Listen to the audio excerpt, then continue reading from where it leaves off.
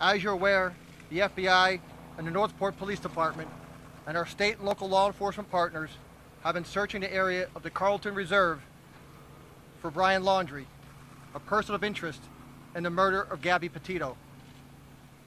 Earlier today, investigators found what appears to be human remains, along with personal items such as a backpack and notebook belonging to Brian Laundrie.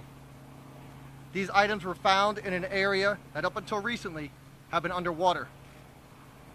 Our evidence response team is on scene using all available forensic resources to process the area.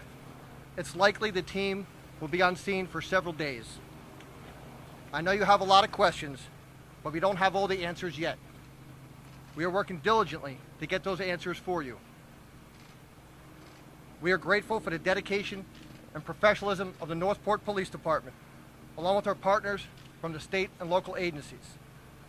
Complex investigations such as this cannot be accomplished by one agency alone, but there's just too many agencies to name them all here today. Portions of the Myakkahatchee Creek Environment Park and Carlton Reserve will remain closed to the public until further notice. This is an active and ongoing investigation, so we ask the public to maintain distance from any law enforcement personnel, equipment, vehicles, and other related activity for the safety of the public and to protect the integrity of our work. We have no additional comment related to today's activities.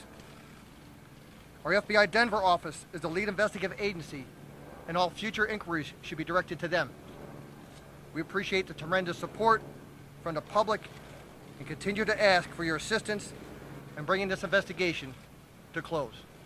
Thank you.